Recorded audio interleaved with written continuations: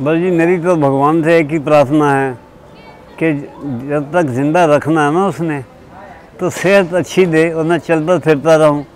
और क्रिकेट की थोड़ी बहुत सेवा जो मैं कर सकता हूँ, बच्चों की या बड़ों की, वो करता रहूँ। यही मेरी आखिरी तमन्ना है।